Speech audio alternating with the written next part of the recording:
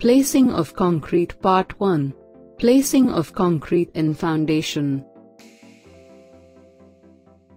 Well, we have seen videos on batching of concrete, mixing of concrete and transportation of concrete. So with this knowledge, we have now batched, mixed and transported the concrete to the location perfectly. Is it enough to get the required structures? It is utmost important to place the concrete perfectly to secure the homogeneity achieved during mixing and transporting. Let's have a look at the precautions to be taken and methods adopted in placing of concrete in most common situations. The common situations we are going to discuss are placing of concrete in foundation, placing of concrete in columns, beams and floors, placing of concrete in road slab and airfield slabs, placing of concrete in dams, piers or abutments, placing of concrete in underwater. Concrete is always used to lay the foundation bed below the walls or columns.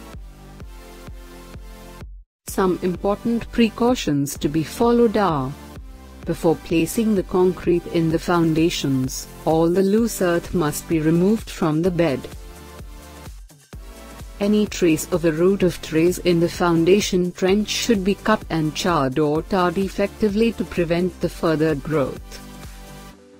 If the surface of the earth above which foundation is to be laid is dry, must be wetted with water, thus there will be no absorption of water from concrete.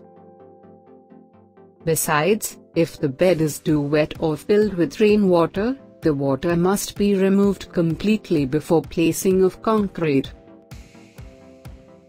If there is any trace of seepage of water in foundation trench, any suitable method is adapted to stop or divert the water.